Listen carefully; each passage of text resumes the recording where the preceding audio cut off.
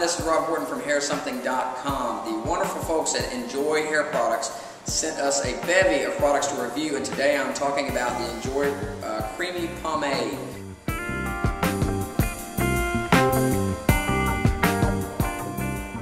So, this stuff is exactly what it says it is. It is creamy pomade.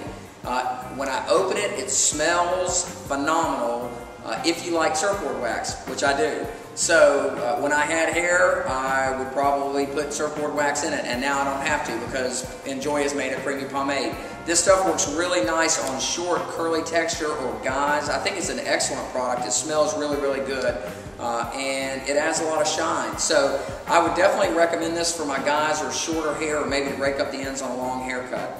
Uh, it is the Enjoy Creamy Pomade. One side note to the folks that enjoy I'm not big on the stickers. It's got lumps in it and it just looks like I put a bad bumper sticker on my car. So I would check out upgrading that. But other than that, I really like the product. For stylists, check this out. This is a great tool for your uh, editorial bag and this is a great take-home product for your guys and curly hair.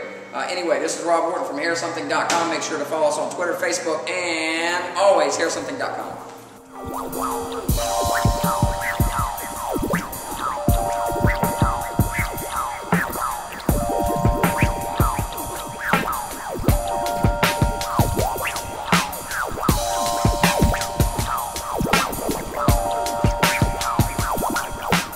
That's all I got today. P out.